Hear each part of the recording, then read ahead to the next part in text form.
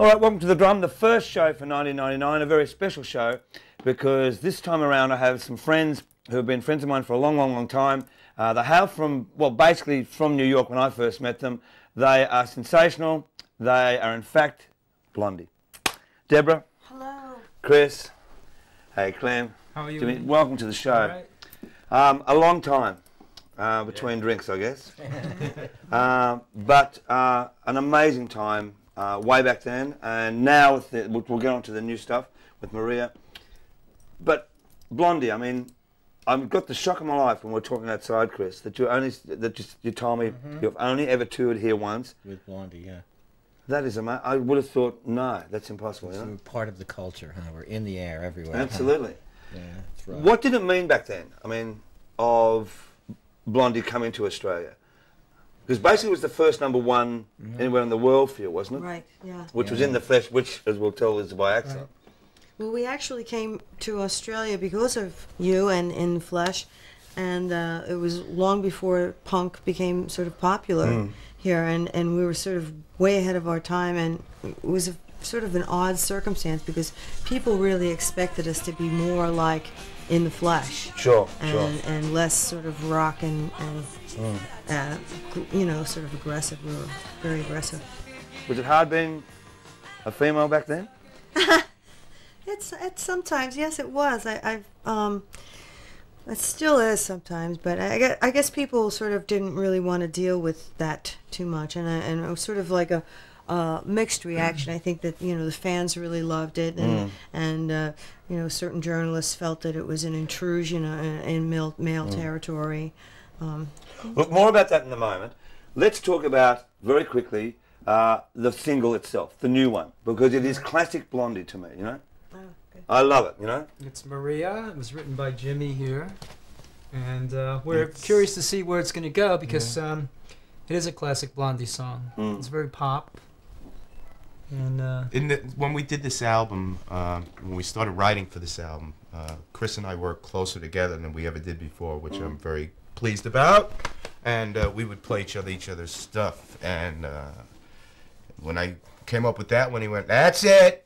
Then we got to do that one." And uh, Debbie just killed it and came out great. So Now, recorded in, in New York, right? Yeah, in my basement. Yeah. Right? And mixed where? In Abbey Road? That, that particular track? Or No. the album was, mi- well, part of the album was mixed in Abbey No, in right? LA, I we did the where- track, basic tracks at Electric Lady in New York, the old Jimi Hendrix studio, and it was. You'd recorded in there before, hadn't you?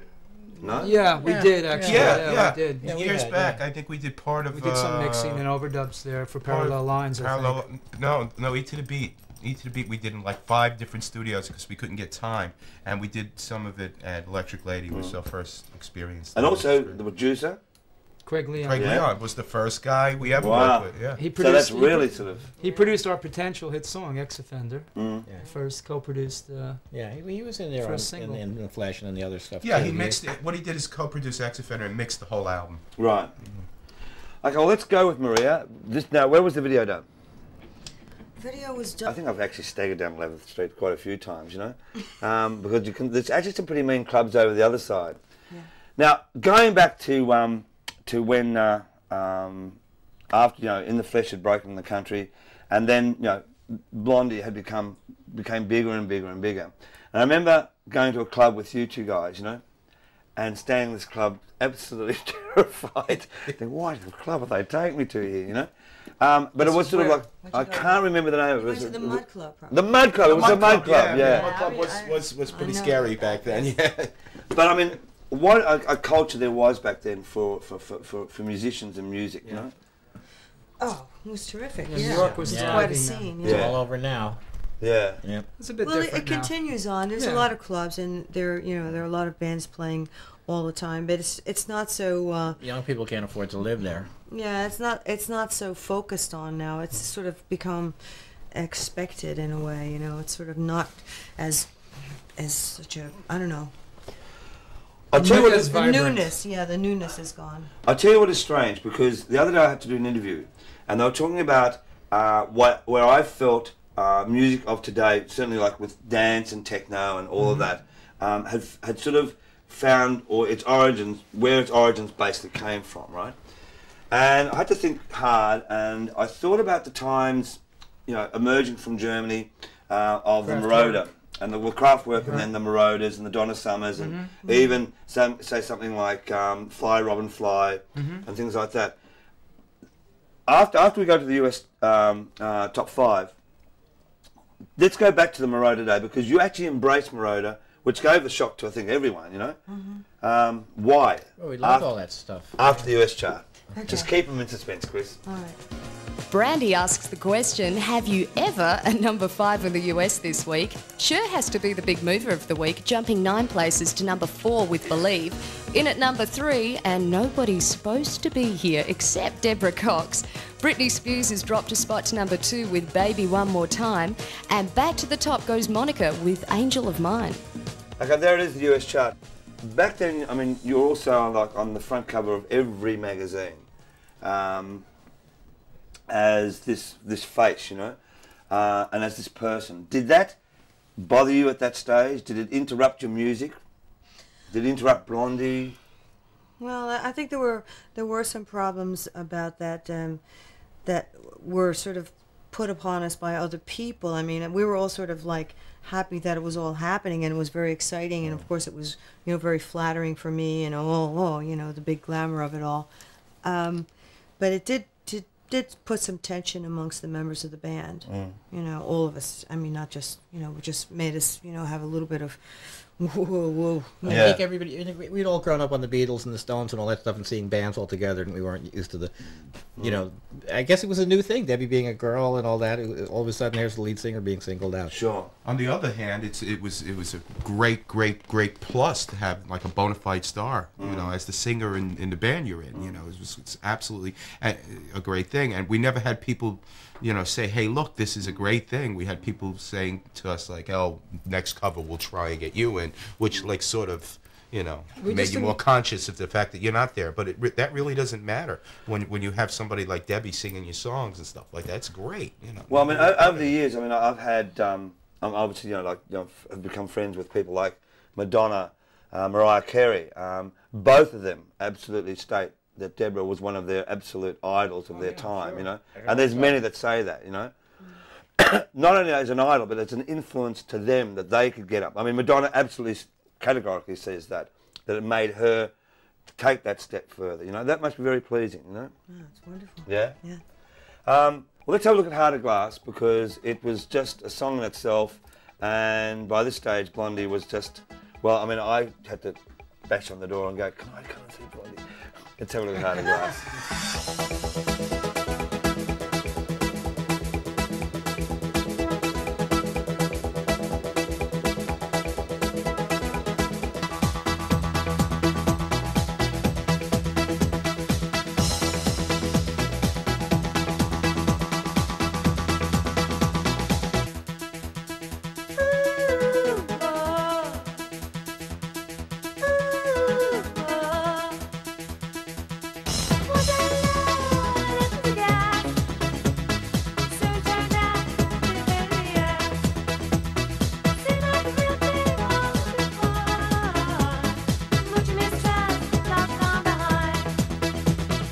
Okay, there it is, Heart of Glass. What, were- what back then were you all listening to? I mean, Jimmy, what were you listening to? Sort of. I was uh, basically listening to a lot of a lot of uh, Germanic stuff. I was still listening to Kraftwerk and stuff like that, and listening to a lot of bands from around the neighborhood. You know, Suicide, and one of uh, our closest friends was this guy named Miki Zone. Had a band called The Fast, and he was a great writer. I used to go see them a lot. You know, Yeah, I used to- uh, as far as contemporary bands, I mean, I listened to XTC and and guys like that. I wasn't really.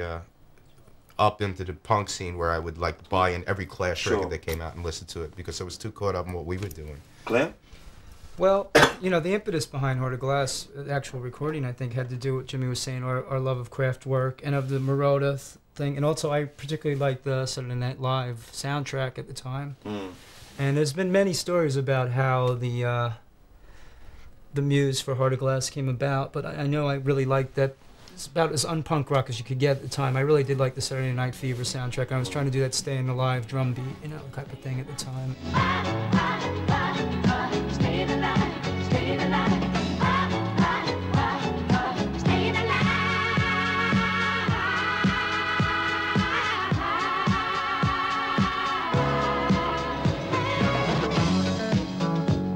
But you were even saying before, even like the Saturday Night Fever thing, that around about the same time, seems ironic that there was uh, this thing of Brooklyn, Right. of another thing going on, you know, of them creating their own almost. That was sort of the opposite of Studio 54, Yeah. the scene in Brooklyn. Yeah, that was- was that, that was, was the the blue common collar. man's. Yeah. Uh, Yeah. The yeah. blue collar version of what what what they couldn't all get into Studio 54 Yeah. is a bridge and tunnel velvet rope. So they created their own discos, you know, and uh, and they those discos got their sort of vibe on the heels of the movie. Yeah. The Saturday Night Fever movie, and everybody was showing up in suits and trying to dance Well, like the, the Travolta. and movie stuff. legitimized the scene, which Yeah, was already there, though. I mean, that just the scene you know, was there for Yeah, a yeah. long time.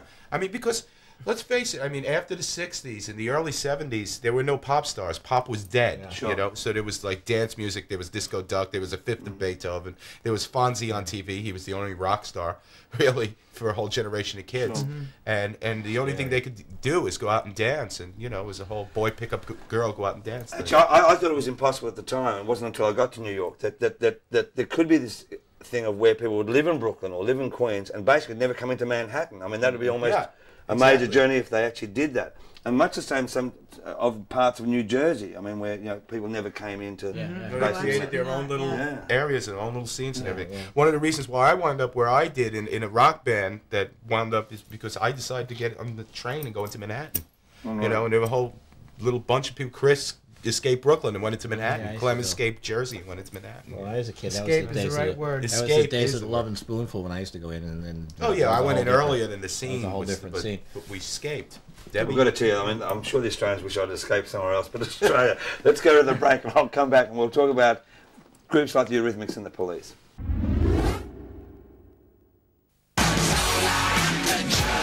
The most controversial artist of the 90s, Marilyn Manson, is back with a brand new number one album, Mechanical Animals, featuring the first hit, The Dope Show.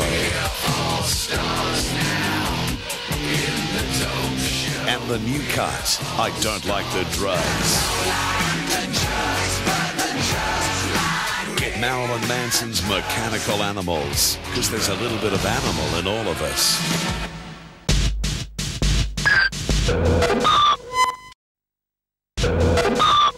Channel, channel V.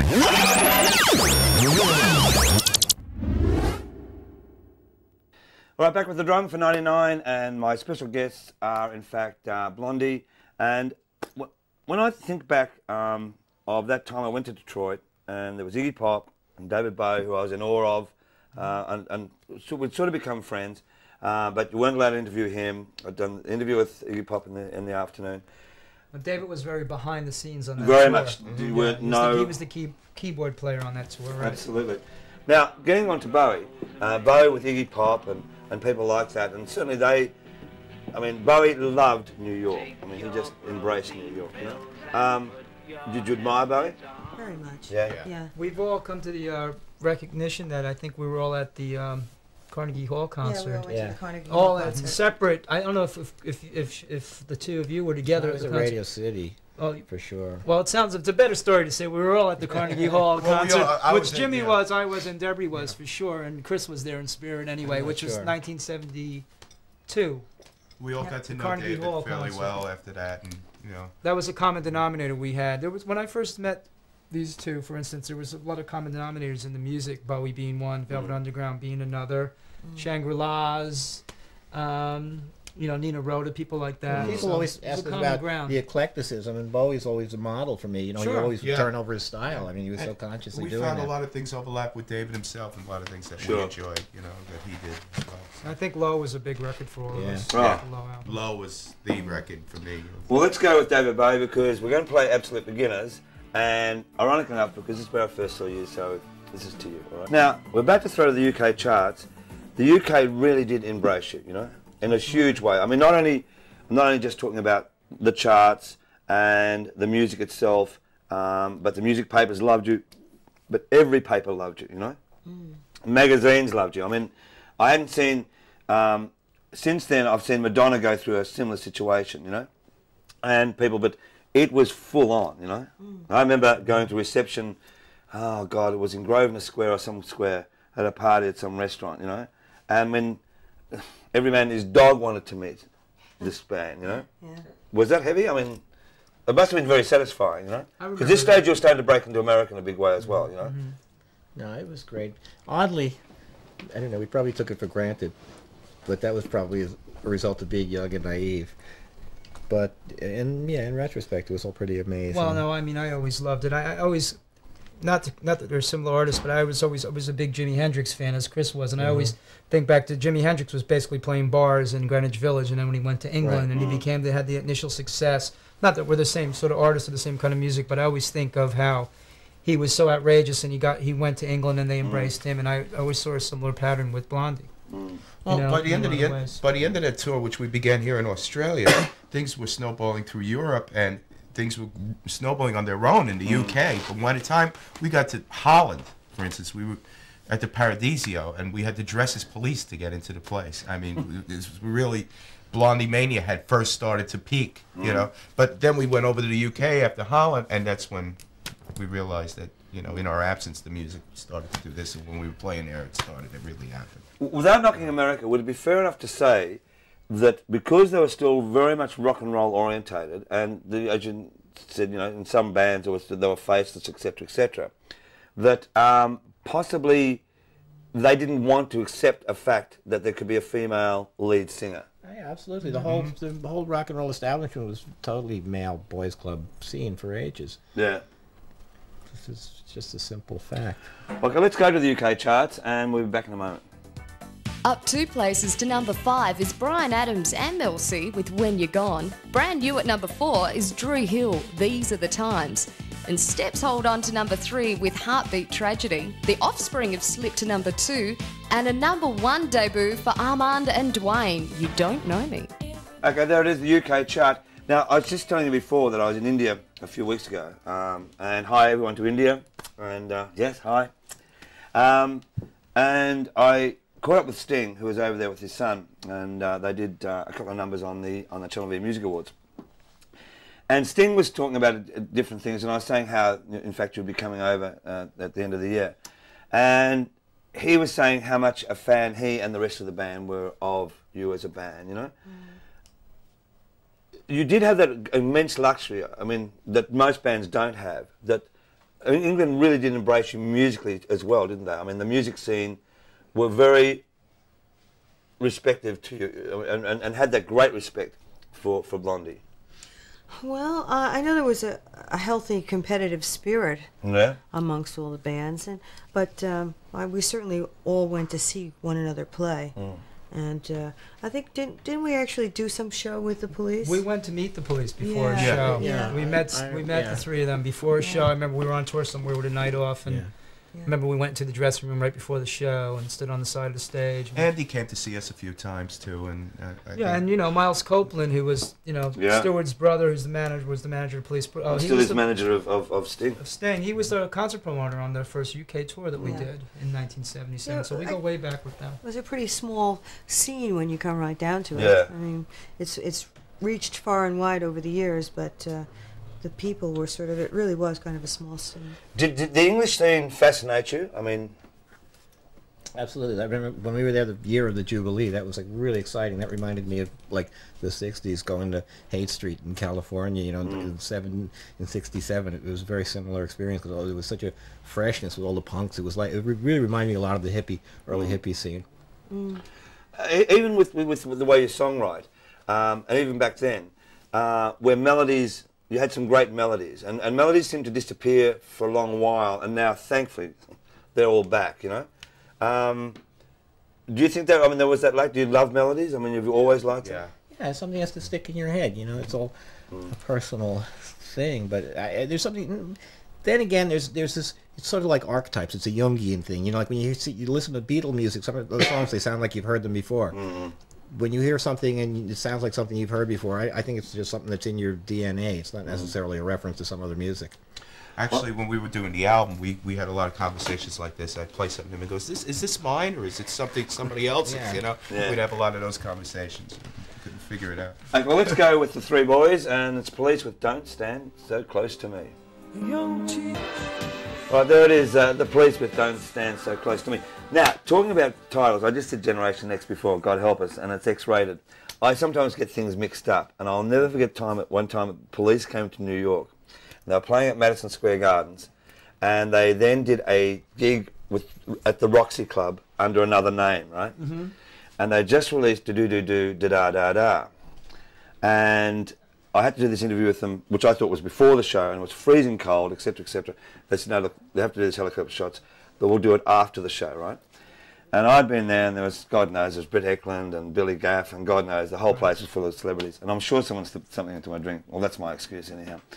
And I came up to do the thing, and I said, well, boys, you know, um, welcome to the show, etc., etc. And I said, now, your new single, do do blah blah blah blah. blah. I said, sorry, I'll have to do that take again like this. And it came to take two, I could not get it. Anyhow, I thought, right, fourth take, I thought, right, I'll do this. I said, know how to do it, and the producer's going off his head, the whole thing like that. And I said, um, right, boys, welcome to the show, etc., etc. You must be very pleased your single's gone to number one in the American charts. And they went, yes, we are. and Sting looked at me and said, and what's, what's it called, Molly? I thought, oh, you know what it's called. I don't have to say what it's called like this. You know? It's, it, it was really embarrassing. The Roxy Club, though. Did you ever play at the Roxy? Uh, in in uh, L.A. In- no, in, in New York. No. No, that's because you you probably got that. Oh, wrong. that's no. No, no, it was called the Roxy. No, it was the roller place. Yeah, Yeah, yeah, on 18th Street. yeah. Yeah. Because that. I don't remember that at all. No, no, that was the big place where they had roller skating. you yeah. know. Yeah. Yeah, I yeah. remember. because that is where I saw the Eurythmics. Um, the, um, at playing one of the first times. Um, Oh, the Roxy. Oh, yeah, that. Yeah? Oh, okay. oh, it is that The place. neon. Right, but they yeah. still- Yeah, yeah, the yeah, yeah. sign is still up, right? Yeah. and uh, the rhythms were playing for six nights and after they finished every night of their concert the screen would come down and they'd play videos. And that was where i first ever saw madonna. Um, and sort of said who is that lady there? You know? Um, madonna i mean what do you my think of story madonna? on Madonna is the first time I uh, even thought she was going to make it was when I saw obscene stuff about her in the subway. Which I you saw what I saw basically uh, d- Obscene said, graffiti. It said suck my Obscene big dick. Madonna, and I knew she was going to be big. she didn't, she didn't write that did she I don't think it was her. Well, no. yeah, she could have. Who knows? Maybe our okay, we'll have to go to the break i'll have to have a bit of a drink myself and we'll come back and we'll uh, try to clear this up i tell you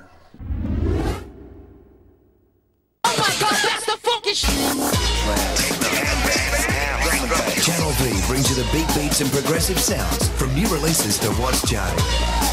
Turn it up and play it. Have people ad- admiring you because Madonna did. Annie Lennox, um, and I mean, she also has one that states you as one of her great influences, but the man himself here Right.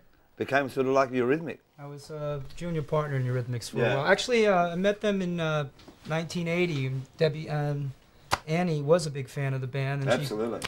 she was. I was in this club in uh, London, and this beautiful woman was approaching me, and I was like, "Oh, who's this coming up to talk to me?" And she's like, "Next thing I know, she's a singer. She loves the band. She loves Deb. You know." I was a bit disappointed. She goes, "You want to play on my record?" I thought she was like, you know, let's have a little chat and a drink. But anyway, wound up going around uh, Annie and Dave's for Sunday lunch, and. Uh, made their first record called In the Garden while I was still in Blondie in 1980.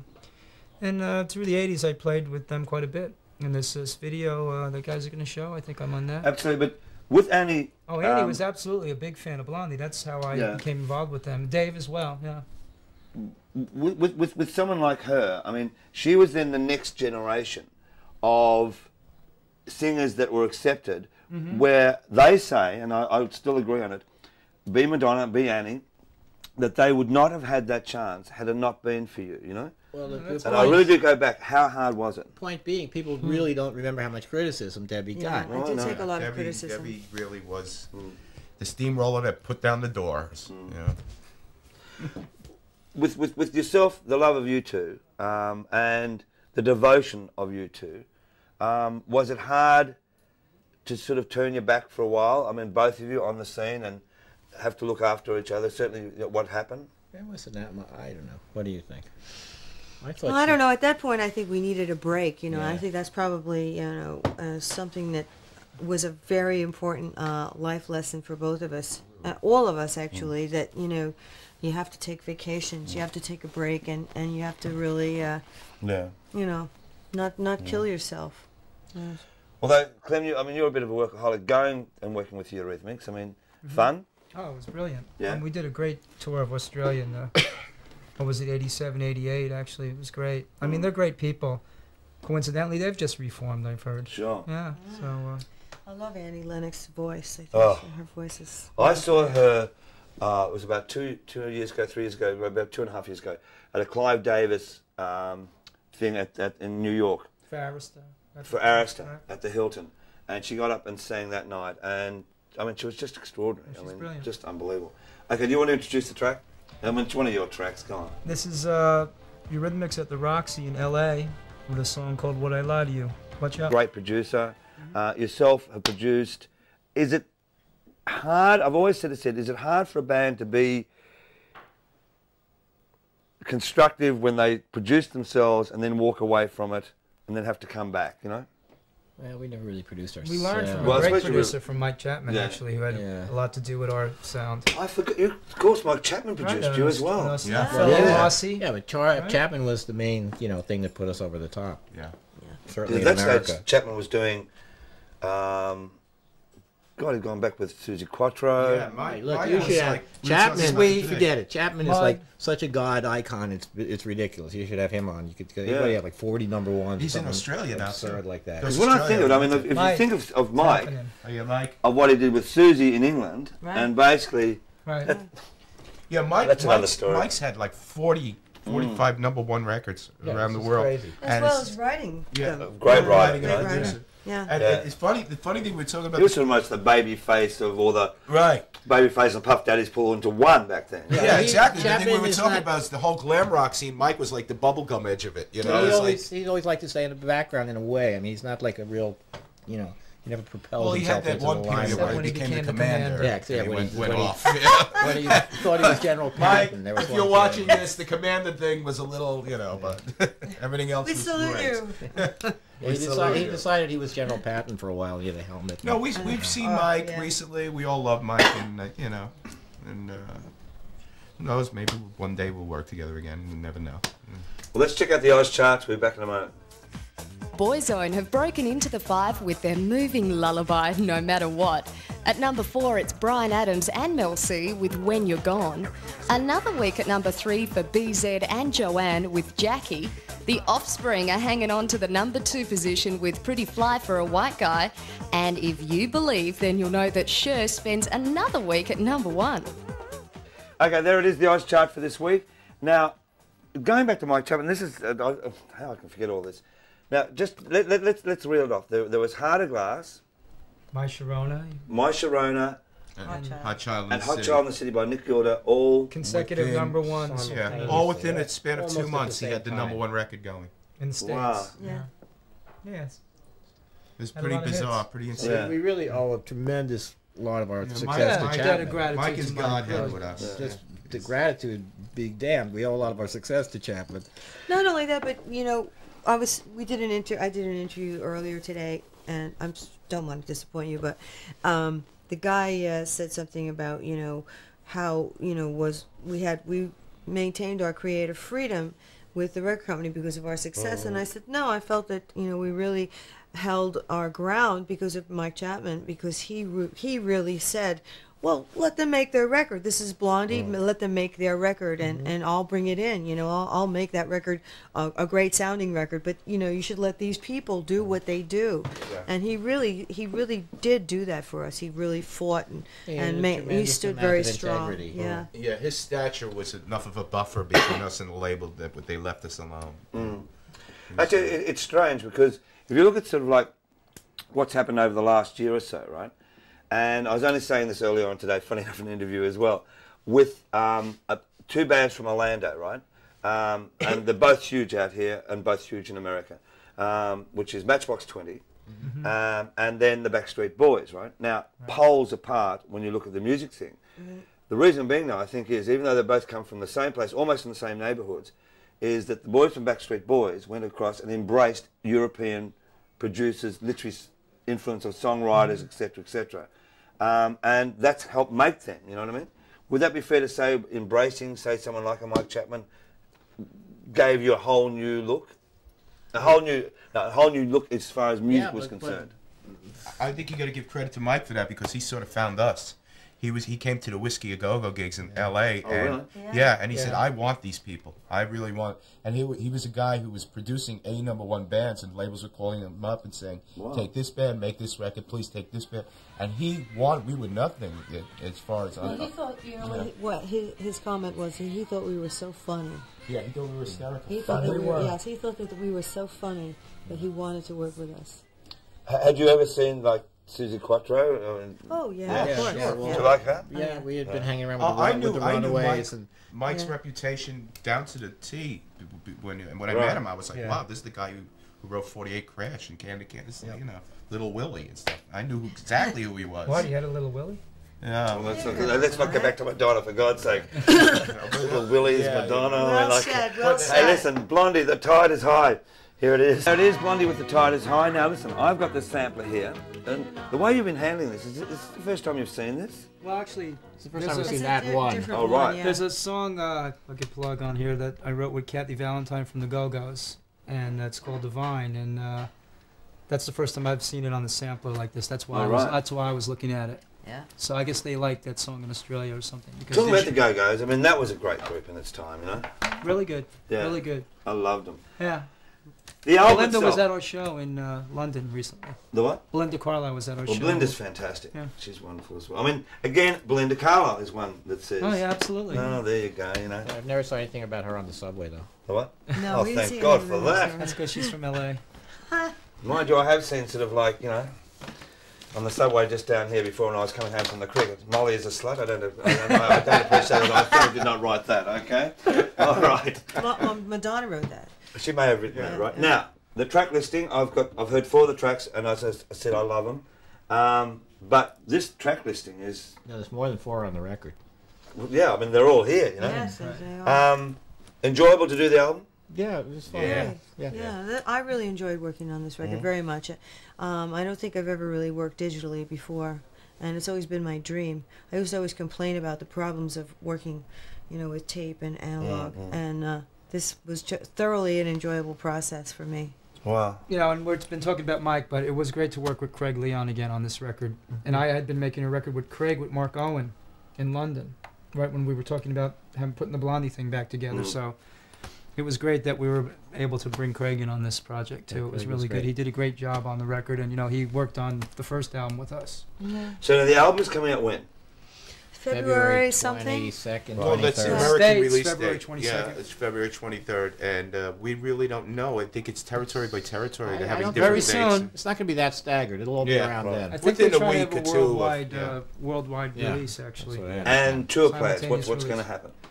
Well, we'd like to go back and and uh, I think we'll be here in the fall. Yeah. I would think. yeah, I, we, we have to go back and we have to. We haven't even hit the states yet. We have to do that in the spring, uh, the United States and Canada, and And the then we have to go back to Europe, there. summer festivals and stuff, and then we'd like to come back to Australia and Yeah. Japan, and you know, we haven't been to Japan in years. Hopefully, we'll be We'll back in Australia and going to Japan and all these other great countries at the end of the year. I hopefully. really like it here. You know, every place we go, everybody wants to go to New York. It's, it's really great Yeah, here. it's, it's great. Yeah. We'll do a whole Australian tour. and Well, end and up you in are Australia tour now, and if, if, if that's the case, and I believe it to be the case now, that it's way back then, and that's the only tour, then you've got to come back and We tour, you know? to. Yeah, we have to. And I, I've got to tell you, I mean, like uh, in London last year, early last year, um, I just happened to be there when um, Human League played at, um, of all places, the um, oh, what's that round place? Uh, the Albert Hall in London, and it was just fantastic, you know.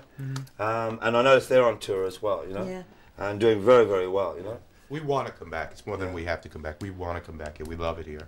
It'd be great to come. Well, listen, best of luck with the album. You don't need any best of luck with Maria because it is going to be a hit, Thanks. and Thanks, it's been absolutely fantastic. Thank you, John. That's for India. And thanks again, and you're wonderful. Oh. All right, I won't give you a kiss, kiss. Thanks. Nor you're clear. All right. So Thank you, Jimmy. drummer. Cheers. Good night, Milton, Australia. Milton Berle has kissed those lips.